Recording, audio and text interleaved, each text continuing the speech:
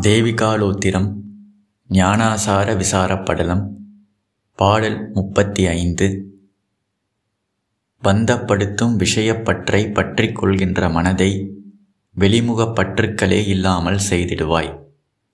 தனக்கண்ணியமான ஆசிரியத்தை பற்றி கொள்ளும் மனத்தை நிశ్చலமாக செய்து கொஞ்சமும் சலிக்கச் செய்யாது சாந்தி நிலையை அடைவாயாக. பந்தப்படுத்தும் விஷயப்பற்றை பற்றி கொள்கின்ற மனதை வெளிமுகப்பற்றுக்களே இல்லாமல் செய்திடுவாய். தனக்கண்ணியமான ஆசிரியத்தை பற்றி கொள்ளும் மனத்தை நிச்சலமாக செய்து கொஞ்சமும் சலிக்கச் செய்யாது சாந்தி நிலையை அடைவாயாக. பரமேஸ்வரன் ஸ்ரீ பார்வதி தேவிக்கு முக்திக்கான வழியை உபதேசம் செஞ்சுக்கிட்டு இருக்காரு அதில் இந்த பாடலில் பந்தப்படுத்தும் விஷயப்பற்றி பற்றி கொள்கின்ற மனதை இப்போ நார்மலான அஞ்ஞானிகளினுடைய மனம் எந்த நிலையில் இருக்குது? நான் ஒரு ஜீவாத்மா தனிப்பட்ட இருப்பு உடல் மனம் அகங்காரம் அப்படின்னு நம்பிக்கிட்டு கற்பனை பண்ணிக்கிட்டு வாழ்ந்து கொண்டிருக்கக்கூடிய அஞ்ஞானிகளினுடைய மனது எந்த நிலையில் இருக்குது? அந்த நிலையிலிருந்து எந்த நிலைக்கு அந்த மனதை நாம் எடுத்துகிட்டு போகணும்? அப்படி போனால் தான் முக்தி கிடைக்கும். அப்படின்னு பரமேஸ்வரன் சொல்கிறாரு இப்போ அஞ்ஞானிகளினுடைய மனது நார்மலாக எப்படிப்பட்ட நிலையில் இருக்குது? எப்படி வேலை செய்யுது அப்படின்னா பந்தப்படுத்தக்கூடிய விஷயப்பற்றுகளை பற்றி கொள்கின்ற மனம். எப்போ பாரு இந்த மனம் ஏதாவது ஒரு நாம ரூபத்தை தனக்கு அந்நியமான ஒரு நாம ரூபம் வெளியில் இந்த உலகத்தில் ஏதாவது ஒரு விஷயத்தை போய் பிடிச்சிக்கிட்டே இருக்கும். அது மேலே போய் பற்றி கொள்ளும். ஏன் அப்படி பண்ணுது? ஏன்னா மனம் நினச்சிக்கிட்டு இருக்கு தப்பாக நினச்சிக்கிட்டு இருக்கு தப்பாக நம்பிக்கிட்டு இருக்கு. வெளியில் இருக்கக்கூடிய ஒரு பொருள் தான் எனக்கு ஆனந்தத்தை கொடுக்கும். வெளியில் இருக்கக்கூடிய பொருள்னால தான் ஆனந்தம் கிடைக்கிறது. நான் ஒரு குறையுள்ள மனிதன். நான் ஒரு ஆண் நான் ஒரு பெண். நான் அவன் நான் இவன். நான் அம்மா நான் அப்பா. நான் ஒரு ப்ரொஃபஷனல் நான் ஜாதி நான் மதம் நான் ஒரு சோஷியல் ஸ்டேட்டஸ் இப்படிப்பட்ட குறையுள்ள ஒரு இருப்பு நான். இந்த குறையை தீர்க்கணும்னா வெளியில் ஒரு பொருள் எனக்கு வேணும். ஒரு ஆணனுடைய குறையை தீர்க்கணும். இப்போ பெண் வேணும். இப்போ எனக்கு அறிவு கம்மியாக இருக்குது. நான் யூஜி தான் படிச்சிருக்கேன். அந்த குறையை தீர்க்கணும் நான் ஒரு பிஜி படிக்கணும். போஸ்ட் கிராஜுவேட் ஆகணும். டாக்டரேட் ஆகணும். என்னுடைய சோஷியல் ஸ்டேட்டஸு நான் ஒரு லோயர் கிளாஸில் இருக்கிறேன். மிடில் கிளாஸில் இருக்கிறேன். நான் ஒரு அப்பர் மிடில் கிளாஸ் ஆகணும். அப்பர் கிளாஸ் ஆகணும். அப்போ நான் ஒரு குறையுள்ள இருப்பு இந்த குறையை தீக்கிறதுக்கு வெளியில் ஒரு பொருள் எனக்கு வேணும். அப்படி வந்தால் தான் இந்த குறை நிறை நிறைவானால் தான் நான் ஆனந்தமாக இருக்க முடியும். அப்படிங்கிற நம்பிக்கை. எல்லா அஞ்ஞானிகளும் இப்படித்தான் வாழ்ந்துக்கிட்டு இருக்கிறாங்க யாரை கேட்டாலும் அவங்க ஒரு குறை சொல்லுவாங்க. அந்த குறையை தீர்க்கறதுக்கு வெளியில் ஒரு பொருள் எனக்கு தேவை. அதை நோக்கி தான் அதுதான் என்னுடைய டார்கெட்டு. இன்னும் ஒரு வருஷத்துலேயோ ரெண்டு வருஷத்துலேயோ. ஒரு கார் வாங்குறது தான் என் டார்கெட்டு. ஒரு வீடு கட்டுறது என் டார்கெட்டு. இந்த சேலரி இப்போ எனக்கு சேலரி வாங்குறது எனக்கு பத்தலை. குறையாக இருக்குது. இதுக்கு மேலே இவ்வளோ சேலரி வந்தால் தான் நான் என் குறை தீரும். அப்போ தான் ஆனந்தமாக இருப்பேன் அப்படின்னு ஒவ்வொருத்தரும் ஒரு டார்கெட் வச்சுருக்காங்க கோல் வச்சுருக்கிறாங்க. இப்படிப்பட்ட நம்பிக்கையினால தான் மனம் எப்போ பாரு வெளியில் ஒரு பொருளை போய் பற்றி கொள்கிறது. வெளி விஷயங்களை தேடி ஓடிக்கொண்டே இருக்கிறது. காலையில் எந்திரிச்ச உடனேயுமே மனம் ஏதாவது ஒரு விஷயத்தை பற்றி யோசிச்சுக்கிட்டு இருக்கும் ஓடிக்கிட்டு இருக்கும் போய் பிடிச்சிக்கும். பிறந்ததுலேருந்து சாகிற வரைக்கும் ஏதாவது ஒரு ஆசை ஒன்று மாற்றி ஒன்று ஆசை வந்துக்கிட்டே இருக்குது குழந்தையிலிருந்து ஆரம்பித்து பலூன் சாக்லேட்டு இந்த கிளுகிழுப்பை பிளாஸ்டிக் காரு அப்புறம் இந்த ஃபுட்பாலு கிரிக்கெட் பேட்டு பாலு அப்புறம் கேர்ள் ஃப்ரெண்டு பாய் ஃப்ரெண்டு அப்புறம் நான் ஒரு டிகிரி முடிக்கணும். எல்லாத்துலேயும் ஃபஸ்ட் ரேங்க் எடுக்கணும். ஒரு வேலை கிடைக்கணும். அப்புறம் வீடு கட்டணும் கார் வாங்கணும் கல்யாணம் பண்ணணும் குழந்தை பெற்றுக்கணும் பேரம் பேத்தி எடுக்கணும் அப்படின்ட்டு அப்படியே ஒன்றை மாற்றி ஒன்று கோல் மாறிக்கிட்டே இருக்குது இந்த மனம் வெளி விஷயங்களை தேடி தேடி ஓடிக்கிட்டே இருக்குது இந்த குறையை தீக்கிறதுக்காக இந்த மாதிரி வெளி விஷயங்களை போய் பற்றி கொள்கிறது. இதுதான் நார்மலான அஞ்ஞானிகளினுடைய மனதினுடைய நிலை. இந்த மாதிரி வெளி விஷயத்தை நோக்கி ஓடும்போது அதை போய் பற்றும் பொழுது என்ன நடக்குது? இந்த ஜீவாத்மா வெளியில் இருக்கக்கூடிய ஒரு பொருளுக்கு பந்தப்படுகிறது. நான் ஒரு ஜீவன் எனக்கு வெளியில் ஒரு பொருள் தேவை அது இருந்தால் தான் ஆனந்தம் கிடைக்கும்னு நினச்சி போய் அதை பற்றுவதனால் அதை தேடி போய் அடைவதனால என்ன நடக்குது? இந்த ஜீவாத்மானது அந்த பொருளுடன் பந்தப்படுகிறது. அப்படின்னா அந்த பொருளுக்கு அடிமையாகிறது. எப்படி ஒருத்தர் இந்த தண்ணி அடிக்கிறவங்க ட்ரக் அடிக்ட்ஸ் எல்லாமே என்ன நினைக்கிறாங்க? அதை எடுத்தால் தான் எனக்கு ஆனந்தம். அதனால் அந்த பொருளுக்கு அவங்க அடிமையாகிறாங்க. அதே மாதிரி கல்யாணம் பண்ணும்போது இவங்க இருந்தால் தான் ஹஸ்பண்ட் ஒன் ஒய்ஃப் இருந்தால் தான் ஆனந்தம். அப்போ ஒருத்தர் இன்னொருத்தரோட பந்தப்படுகிறார்கள். இந்த பந்தம் ஏன் வந்துச்சு? என்னுடைய ஆனந்தத்துக்கு அவங்க வேணும். இப்போ பந்தப்படுறதுனால அடிமையாகிறான். இந்த ஜீவாத்மா வெளியில் இருக்கக்கூடிய பல பொருள்களுக்கு எந்தெந்த பொருள்கள் எல்லாம் எனக்கு ஆனந்தத்தை கொடுக்குதுன்னு கற்பனை பண்ணி அதை தேடி தேடி ஓடுதோ அந்தந்த பொருளுக்கு இந்த ஜீவாத்மாவானது அடிமையாகிறது பந்தப்படுகிறது. இப்போ என்ன ஆகும் அந்த பொருள் எல்லாமே இந்த ஜீவாத்மாவை ஆட்டுவிக்கும். இந்த ட்ரக் அடிக்ட்ஸு அந்த ட்ரக் இருந்தால் தான் ஆனந்தம். அதுக்கு அடிமையாயாச்சு. இப்போ அந்த ட்ரக்கு விற்கிறவங்க எத்தனை விலை ஏற்றுனாலும் அதை எப்படியாவது காசு கொடுத்து அதை வாங்கியே தீருவாங்க. எப் என்னென்ன அஞ்ஞான செயல்கள் ஈடுபட்டாலும் அதை வாங்கிறதுக்கு அந்த காசை திருடியாவது எங்கிருந்தாவது எடுத்து எதையாவது விற்றாவது அதை அவங்க வாங்கியே ஆகணும். இப்போ அந்த ட்ரக்கு விற்கிறவங்க இவர்களை ஆட்டுவிப்பார்கள் அடிமையாக இருக்கிறவங்கள ஆட்டுவிப்பாங்க இப்போ இங்கே ஃபேமிலியில் ஹஸ்பண்ட் அண்ட் ஒய்ஃப் இப்போ சண்டை வந்துருச்சுன்னா ஒய்ஃப் உடனே நான் எங்கள் அம்மா வீட்டுக்கு போயிடுவேன் நான் இனிமேல் இங்கே இருக்க மாட்டேன்னு சொன்னோன்னையும் ஹஸ்பண்டு வருத்தப்பட ஆரம்பிச்சுவார் இல்லை இல்லை இல்லை. உனக்கு என்ன வேணுமோ நான் செஞ்சு கொடுக்குறேன். என்னை விட்டுட்டு போகாத. நீ இல்லாமல் இருந்தனா நான் ஆனந்தமாக இருக்க மாட்டேன். அப்போ ஒய்ஃபு ஹஸ்பண்டை ஆட்டுவிப்பார். ஏன் அப்படி பண்ணுறாங்க ஏன்னா ஹஸ்பண்டு ஒய்ஃபுக்கு அடிமையாக இருக்கிறார். ஒரு சின்ன குழந்தை கூட நான் அமைதியாக இருந்தால் தான் எங்கள் அம்மா அப்பா சந்தோஷமாக இருப்பாங்க. அப்போ அதுக்கு ஏதாவது பிளாக்மெயில் பண்ணணும் ஏதாவது பொம்மை வேணும் சாக்லேட் ஐஸ்கிரீம் வேணும்னா உடனே கத்தி கதறி ஆர்ப்பாட்டம் பண்ணும். நான் கத்தி கதறி ஆர்ப்பாட்டம் பண்ணனா எங்கள் அம்மா அப்பா சந்தோஷமாக இருக்க மாட்டாங்க. அப்போ அவர்களை இந்த சின்ன குழந்தை கூட ஆட்டு வைக்குது. இந்த மாதிரி நம்மளுடைய மனம் எந்தெந்த பொருளுக்கு போய் பற்றி கொண்டிருக்கிறதோ அது இருந்தால் தான் நான் ஆனந்தமாக இருப்பேன்னு நினச்சி போய் பற்றுகிறதோ அந்தந்த பொருளுக்கு நாம் அடிமையாகிறோம். நம்மளுடைய காரு வீடு சோஷியல் ஸ்டேட்டஸ்ஸு ப்ரொஃபஷ்னல் ஹைரார்கி ஒருத்தர் எனக்கு ப்ரொமோஷன் வேணும். இப்போ இருக்கிற பதவியில் நான் குறையோடு இருக்கிறேன். அது கிடைச்சா தான் இதுக்கு மேலே இருக்கக்கூடிய பதவிக்கு நான் போனால் தான் எனக்கு ஆனந்தம்னு அவருடைய மனம் ஃபிக்ஸ் ஆகிடுச்சு கற்பனை பண்ணுச்சுன்னா இப்போ அப்படிப்பட்டவர்களை அவருடைய மேனேஜரும் அந்த கம்பெனியும் ஆட்டு வைக்கும். ப்ரொமோஷனுக்காக இவர் என்ன வேணாலும் பண்ணுவார். எவ்வளோ வேலை வேணாலும் கொடுங்க. அவருக்கு ப்ரொமோஷன் தேவை. அது கிடைச்சாதான் ஆனந்தம் நினச்சிட்ருக்காரு அதனால் அவர் தன்னுடைய ஃபேமிலி லைஃபு ஹெல்த்து எல்லாத்தையும் விட்டு கொடுத்துட்டு கூட இவர் வந்து வேலை செய்ய ரெடியாக இருப்பார். அப்போ ஒவ்வொரு பொருள் எந்தெந்த பொருளெல்லாம் எனக்கு ஆனந்தத்தை கொடுக்குதுன்னு நான் நினச்சிட்டு இருக்கிறேனோ அதெல்லாம் என்னை அடிமையாக்கி கொண்டிருக்கிறது. இப்போ வெளி விஷயத்திலிருந்து ஆனந்தம் கிடைக்குன்னு நாம் நினச்சோம் அப்படின்னா நாம் அந்த பொருளுக்கு அடிமையாகிக்கிட்டே இருக்கிறோம். அது நம்மளை மேலும் மேலும் ஆட்டு வைக்கும் இப்போ இதனால தான் தர்மம் அதர்மம் ஆகிறதுக்கு காரணமே. தர்மத்தின்படி வாழ முடியாமல் அதர்மமாக வாழ்கிறதுக்கு காரணம் என்ன? இப்போ ஞானிகள் ஏன் தர்மத்தோடு வாழ முடியுது? அவர்களுக்கு இயல்பு. யாரும் சொல்லிக் கொடுக்க வேண்டியதில்லை. ஏன்னா அவர்களுடைய ஆனந்தம் சொரூப ஆனந்தம் எந்த பொருள் இருந்தும் அவர்களுக்கு ஆனந்தம் வரணும்னு அவசியமே கிடையாது. யார் இருந்தாலும் சரி இல்லாமல் போனாலும் சரி எது இருந்தாலும் சரி இல்லாமல் போனாலும் சரி எந்த சூழ்நிலைகள் இருந்தாலும் சரி மாறினாலும் சரி அவர்களுடைய ஆனந்தத்துக்கு குறைவே கிடையாது. மாறான ஆனந்தம் சொரூபானந்தம். இப்போ ஆனந்தமாக இருந்துக்கிட்டு அவங்க ஒரு வேலை செய்கிறாங்க இப்போ அவங்க ஆஃபீஸில் வேலை செய்கிறாங்கன்னா ப்ரொமோஷனுக்காகவோ எதுக்காகவோ வேலை செய்யலை.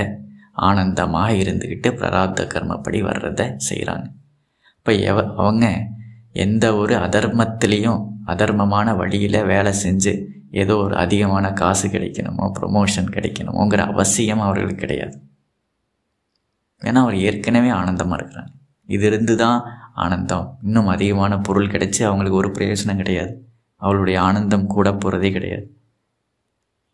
யாராவது இன்னும் அதிகமான மரியாதை நாலு சல்யூட் எக்ஸ்ட்ராவாக வச்சுட்டா அவர்களுடைய ஆனந்தம் கூட போகிறது கிடையாது. அவங்க எப் ஏற்கனவே நிறைவான ஆனந்தத்தில் இருக்கிறாங்க. இப்போ குடும்பத்தில் இருக்கிறாங்கன்னா யாருமே அவர்களை எமோஷ்னல் பிளாக்மெயில் பண்ண முடியாது. இவங்க இருந்தால் தான் நான் ஆனந்தமாக இருப்பேன். அவங்க இருந்தால் தான் நான் ஆனந்தமாக இருக்கிறேன். யார் இருந்தாலும் அந்த ஆனந்தத்தை நாம் பகிர்வோம். யாருமே இல்லையா? ஆனந்தமாக இருப்போம். இப்போ ஞானிகளை யாருமே அடிமைப்படுத்த முடியாது ஆட்டுவிக்க முடியாது. ஏன்னா அவர்களுடைய ஆனந்தம் சொரூப ஆனந்தம். வெளியிலிருந்து வந்த ஆனந்தம் கிடையாது. வெளியில் எந்த பொருளையுமே ஆசிரியிக்காம நம்பாம எந்த பொருளையும் சாராமல் வந்த ஆனந்தம்னால அவர்கள் முக்தர்கள். இப்போ நார்மலான ஜீவாத்மாக்கள் பந்தத்தில் இருக்கிறாங்க. ஏன்னா அவங்க என்ன நினச்சிட்டு இருக்காங்க? என்னுடைய ஆனந்தத்துக்கு காரணம் வெளியில் ஒரு பொருள். இதுதான் பந்தம். முக்தினா என்ன? என்னுடைய ஆனந்தத்துக்கு காரணம் என்னுடைய சுரூபமே. என்னுடைய சுரூபமே ஆனந்தம். இது முக்தி. ஆனந்தத்துக்கு காரணம் வெளியில் ஒரு பொருள் நினச்சா பந்தம். இப்போ ஏகப்பட்ட பொருள்னால நான் பந்திக்கப்பட்டிருக்கிறேன். என் வீடு என் காரு என்னுடைய சொந்த பந்தம் என்னுடைய ஆஃபீஸு என்னுடைய சோஷியல் ஸ்டேட்டஸு என்னுடைய அழகு. இத்தனை விஷயம் இருந்தால் தான் நான் ஆனந்தமாக கரெக்டாக இருந்தால் தான் நான் ஆனந்தமாக இருப்பேன். அப்படின்னா இத்தனை விஷயமும் என்னை ஆட்டு வைக்கும். லைட்டாக ஒரு முகப்பரு வந்துருச்சுன்னா என் ஆனந்தம் காணாமல் போயிடும் அதுக்காக நான் கிளினிக் கிளினிக்காக போவேன். லைட்டாக என் காரில் ஸ்க்ராட்ச் விழுந்துருச்சுன்னா இப்போ நான் ஒர்க் ஷாப் ஒர்க் ஷாப்பாக போயிட்டுருப்பேன். லைட்டாக என் ரிலேஷன்ஷிப்ஸில் ஏதாவது ஒரு விரிசல் வந்துருச்சுன்னா உடனே நான் ஆங்ஸியஸ் ஸ்டேட்டுக்கு போயிடுவேன் கவலையில் போயிடுவேன் ஏன்னா அவங்க இல்லாமல் நான் எப்படி ஆனந்தமாக இருக்கிறது? இந்த சொந்த பந்தமெல்லாம் இல்லாமல் எப்படி நான் ஆனந்தமாக இருக்கிறது? அப்போ இத்தனை விஷயங்களும் என்னை பாதித்து கொண்டிருக்கிறது. இதுதான் பந்தம். பந்தத்துக்கு காரணம் இந்த அஞ்ஞானம் தான் வெளியில் இருந்து தான் சந்தோஷம் வருது. நம்மளோட ஏன் அப்படி நினைக்கிறோம்? ஏன்னா நமக்கு சொரூப ஆனந்தம் அனுபவத்தில் இல்லை. அது ஏன் இல்லை? நம்மளை நாமளே தனிப்பட்ட ஜீவாத்மான்னு லிமிட்டடாக ஐடென்டிஃபை பண்ணி வச்சுருக்கிறோம். அந்நியானத்தினால தான் நமக்கு சொரூப ஆனந்தம் அனுபவத்தில் இல்லை. நான் ஆத்மா நான் பிரம்மம் இருக்கும் பொழுது தான் நம்மளுடைய சொரூப ஆனந்தம் நம்மளுடைய அனுபவத்தில் இருக்கும். அனுபூதி ஆத்மா அனுபூதி ஏற்படும். அப்படி வந்துருச்சு. நிறைவாக இருக்கிறோம் ஆனந்தமாக இருக்கிறோம். ஒன்றுமே இல்லைனாலும் தனியாக இருக்கும் பொழுதும் வெளியில் எந்த ஒரு பொருள் இல்லாமையும் நான் ஆனந்தமாக இருக்க முடியும். அதை நான் தினம் தினம் அனுபவித்து கொண்டிருக்கிறேன். அப்படின்னு இருக்கக்கூடிய ஞானிகள் அவர்கள் அனுபவத்துக்கு வந்துருச்சு. இப்போ அவர்களுக்கு வெளியில் எதுவுமே தேவையில்லை. தங்கிட்ட இல்லாததுனால தான் இந்த மனம் வெளியில் தேடி தேடி ஓடுது ஆனந்தத்தை. தங்கிட்டேயே இருக்குது அப்படின்னா யாரும் வெளியே தேடி ஓட மாட்டாங்க இப்போ ஞானிகள் தன்னுடைய ஆனந்தத்துக்கு காரணம் அவருடைய சுரூபமே. அவருக்கு வெளியிலேருந்து எதுவுமே தேவையில்லை. ஏற்கனவே பூரணமாக இருக்கிறாங்க. அப்படிப்பட்டவர்கள் எதற்காக? ஒரு வீட்டில் வாழணும். எதுக்கு ட்ரெஸ்ஸை போடணும்?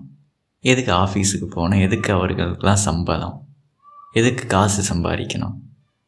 ஏன் நீங்கள் இந்த வீட்டெல்லாம் விட்டுட்டு ஒரு திருவண்ணாமலை பிளாட்ஃபார்மில் போய் உட்காந்துக்க கூடாது?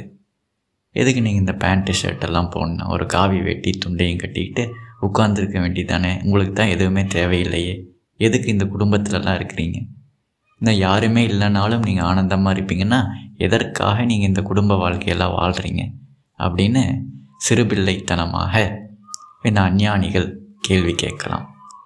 இப்போ இதுக்கு என்ன நாம் பதில் சொல்கிறது அப்படின்னா ஒரு பொருளை உபயோகப்படுத்துவதற்கும் அதை மேலே பற்று வைக்கிறதுக்கும் நிறைய வித்தியாசம் இருக்குது.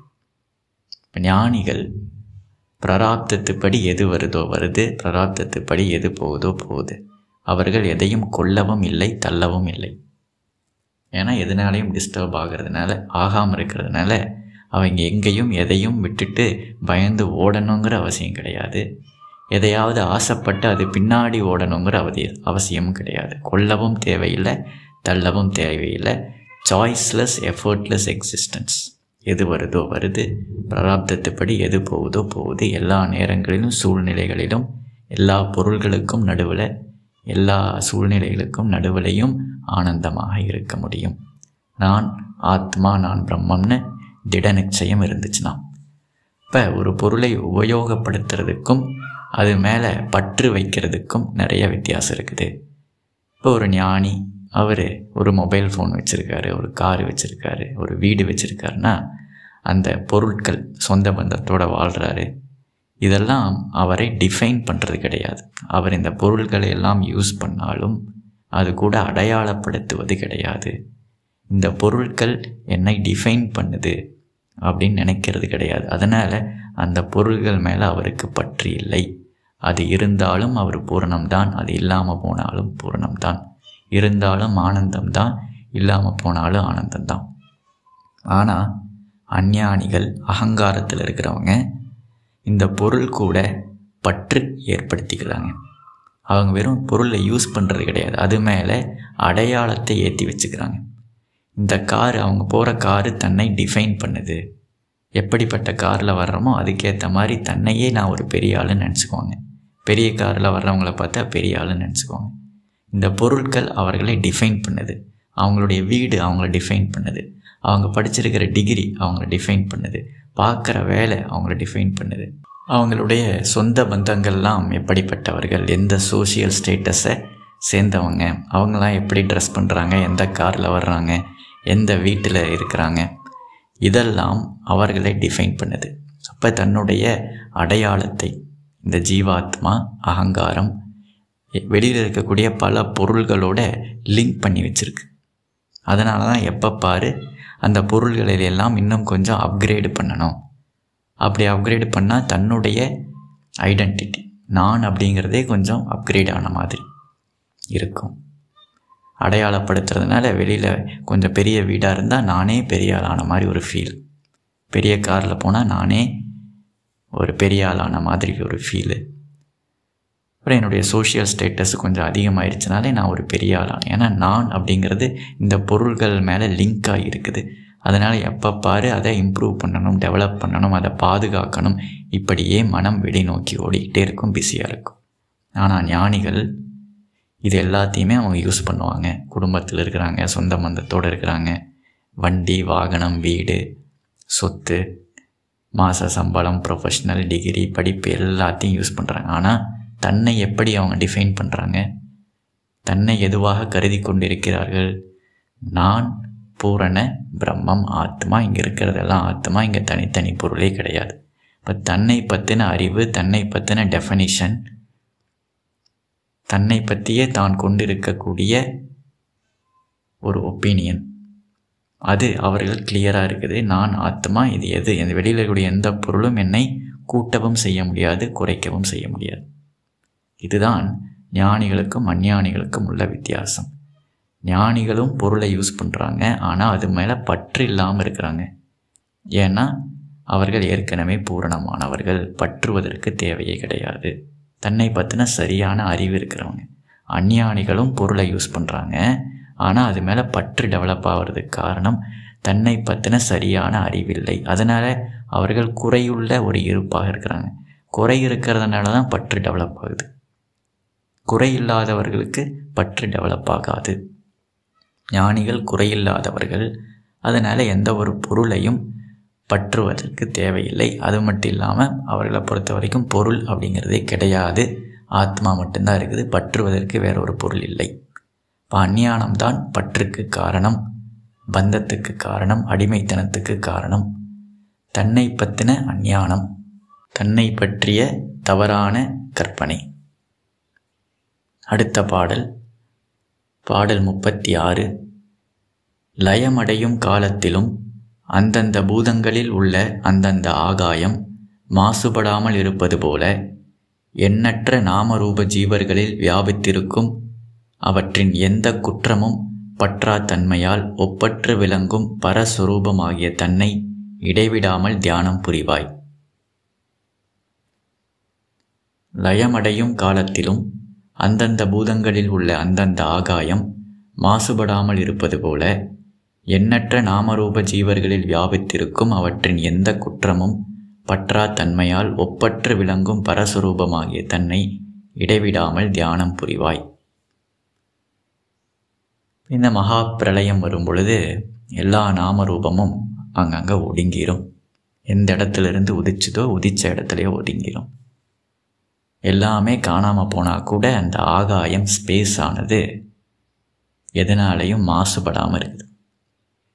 ஸ்பேஸ் தான் எல்லா நாமரூபத்துக்கும் ஆகாயம்னா எல்லா நாமரூபத்துக்கும் எடுக்கிறதுக்கு இடம் கொடுக்குது. ஆனால் அது எதனாலையும் பாதிக்கப்படாமல் இருக்குது. அது மாதிரி எல்லா ஜீவர்களுக்கும் இருப்பை கொடுத்து இருக்கக்கூடிய பிரம்மஸ்வரூபம் சச்சிதானந்த சுரூபம். எப்பேற்பட்ட நாம் ரூபமாக இருந்தாலும் சரி அது தேவர்களாக இருந்தாலும் அசுரர்களாக இருந்தாலும் நல்லது கெட்டது பெருசு சின்னது அழகு அசிங்கம்னு நாம் எதை சொன்னாலும் அதுக்கு எல்லாத்துக்குமே இருப்பை கொடுக்கக்கூடியது ஒரே சச்சிதானந்தம். ஆத்மாதான் பிரம்மம் தான் ஆனால் அது எதனாலையும் மாசுபடாமல் இருக்குது. அப்பேற்பட்ட மாசற்ற ஜோதி. இந்த ஆத்மா அது மேலே தியானம் புரிவாய். இப்போ நான் வந்து ஜீவாத்மா அப்படின்னு நினச்சிக்கிட்டு நான் ஒரு பாபி பாபிகளே அப்படின்னு கூப்பிட்றாங்க. ஆனால் இங்கே பரமேஸ்வரன் என்ன சொல்கிறாரு நாம் எல்லாம் மாசே பட முடியாத குறையே வர முடியாத ஆத்மா. நாமெல்லாம் பாவிகள் கிடையாது. நம்மளுடைய உண்மை சுரூபம் எதுனாலையுமே மாசுபட முடியாது. இந்த ஜீவாத்ம பாவம் உடல் மனம் அகங்காரத்தை என்றைக்குமே நாம் மாசற்றதாக மாற்றவே முடியாது. மல மலமற்றதாக மாற்றவே முடியாது. அதில் எப்போவுமே ஒரு குறை இருந்துக்கிட்டே தான் இருக்கும். உடலாக மனமாக அகங்காரமாக இருக்கிற வரைக்கும் என்றைக்குமே நாம் பெர்ஃபெக்டாக ஆகவே முடியாது. அதைத்தான் எல்லா ஜீவாத்மாவும் ட்ரை பண்ணிக்கிட்டு இருக்கிறாங்க இந்த உடம்பை ஒரு நாளைக்கு பெர்ஃபெக்ட் ஆக்கலாம் அறிவை பெர்ஃபெக்ட் ஆக்கலாம் உலகத்தை பெர்ஃபெக்ட் ஆக்கலாம். என்னுடைய அகங்காரத்தை ஐடென்டிட்டியை பெர்ஃபெக்ட் ஆக்கலாம் ட்ரை பண்ணிகிட்டு இருக்காங்க ஆனால் அது இம்பாசிபிள் அதே சமயத்தில் ஆத்மாவை மாசுபடுத்துவதும் இம்பெர்ஃபெக்ட் ஆக்குவதும் பூரண பொருளை அபூர்ணமாக குறையாக மாற்றுவதும் இம்பாசிபிள் எந்த நாம ரூபத்தினாலையும் அஃபெக்ட் ஆகாத டேமேஜாக ஆக்க முடியாத ஒரு இருப்பு ஆத்மா பிரம்மம். இப்போ நம்ம ஐடென்டிட்டியை தான் மாற்ற வேண்டியதாக இருக்குது நாம் பெர்ஃபெக்ட் ஆகணும் குறையில்லாமல் ஆகணும் மாசு இல்லாமல் ஆகணும். எந்த குறையும் இருக்கக்கூடாது. எந்த பாபமும் இல்லாத ஒரு இருப்பாக இருக்கணும். அப்படின்னா ஐடென்டிட்டியை மாற்றினா போதும். நான் உடல் மனம் அகங்காரம்னு இருக்கிறத விட்டுட்டு நான் ஆத்மா பிரம்மம்னு இருந்தால் இப்போவே இந்த கணத்திலேயே நான் மாசற்றவன். என்றைக்குமே மாசுபடுத்த முடியாதவன். எனக்கு எந்த குறையுமே இல்லை எந்த குற்றமும் இல்லை. நான் ஒரு பாவி கிடையாது. அப்படின்னு இந்த நிமிஷத்துலேயே இந்த செகண்ட்லேயே ஐடென்டிட்டியை மட்டும்தான் ஷிஃப்ட் பண்ணணும். ஞானக்கண்ணை திறந்து உண்மையை பார்க்கணும். உண்மையான தன்னுடைய சுரூபத்தை பார்த்து அங்கே குறையே கிடையாது குறை வரவே முடியாது. ஆகாயத்தை எந்த ஒரு நாமரூபமும் டேமேஜ் பண்ண முடியாது அழுக்குப்படுத்த முடியாது. அப்போ எல்லாரும் பர்ஃபெக்ட் ஆகிறதுக்கு ட்ரை பண்ணிகிட்டு இருக்காங்க ஆனால் அதற்கு ஒரே வழி ஐடென்டிட்டியை ஷிஃப்ட் பண்ணணும். ஐடென்டிட்டி நான் அப்படிங்கிறது வெறும் தனிப்பட்ட உடல் மனம் அகங்காரம் ஜீவாத்ம பாவம் கிடையாது. நான் இதற்கெல்லாம் ஆதாரமாக இருக்கக்கூடிய ஆத்மா பிரம்மம் எல்லாம் லயமானதுக்கப்புறமும் எல்லாம் காணாமல் போனதுக்கப்புறமும் எது மிஞ்சி இருக்குதோ அது இப்போ இங்கே இருக்குது. அதுதான் நான். அப்படின்னு அந்த அடையாளத்தை ஷிஃப்ட் பண்ணனா இப்போவே நாம் பூரணம். இப்போவே நாம் பெர்ஃபெக்ட்டு கண் இமையே அசைக்க வேண்டியதில்லை. ஒரு எண்ணத்தை கூட அசைக்க தேவையில்லை. ஜஸ்ட் ஷிஃப்ட் ஆஃப் ஐடென்டிட்டி இப்போவே நாம் பூரண பொருளாக இருக்கலாம். அப்படின்னு பரமேஸ்வரன் பார்வதி தேவிக்கு உபதேசம் செய்கிறார். இப்போ இந்த ரெண்டு பாடல்கள்லையுமே வெளியில் ஓடிக்கிட்டு இருக்கக்கூடிய மனதை அஞ்ஞானத்தினால நாமரூபத்தை தேடி ஓடிக்கிட்டு இருக்கக்கூடிய மனதை இந்த பரஸ்வரூபம் குற்றமற்ற ஜோதி இது மேலே ஒடுங்க செய்யணும். உதித்த இடத்துல இங்கிருந்து தான் உதிக்குது மனமானது. சித்திலிருந்து உதித்து வெளிநோக்கி ஓடுது அது. உதித்த இடத்திலேயே ஒடுங்க செய்து நிశ్చலமாக இருப்பாய். நான் பிரம்மம் அப்படின்னா இங்கே இருக்கிறது எல்லாம் பிரம்மம். பிரம்மமே தான் எல்லாமாவும் தெரிகிறது. சலனப்படுறதுக்கு ஒன்றும் இல்லை. ஆசைப்படுறதுக்கு ஒன்றும் இல்லை ஆகிறதுக்கு ஒன்றும் இல்லை பயப்படுறதுக்கு ஒன்றும் இல்லை இழப்பதற்கு ஒன்றும் இல்லை. அப்படி இருந்து தியானித்து சரணம் இல்லாமல் இருந்துக்கிட்டு இருக்கணும். இப்படி இருக்க இருக்க இந்த இருப்பு நிலை ஸ்ட்ராங் ஆகிக்கிட்டே இருக்கும். உலகம் அப்படிங்கிறது நமக்கு தெரியாது. பிரம்மமாக தான் தெரியும். இதுதான் முக்தி. பரமேஸ்வரன் உத்தம அதிகாரிகளுக்கு உபதேசம் செய்கிறார். டைரக்ட் மெத்தட் இது உத்தம அதிகாரிகளுக்கானது. டைரக்டாக நீங்கள் ஆத்மஸ்வரூபத்தில் ஒடுங்கி இப்போவே இங்கேயே சிரவணம் மாத்திரத்திலேயே நீங்கள் முக்தி அடையுங்க அப்படின்னு பரமேஸ்வரன் சொல்கிறார். மேலும் பாடல்களை நாம் அடுத்த பதிவில் பார்ப்போம். நன்றி.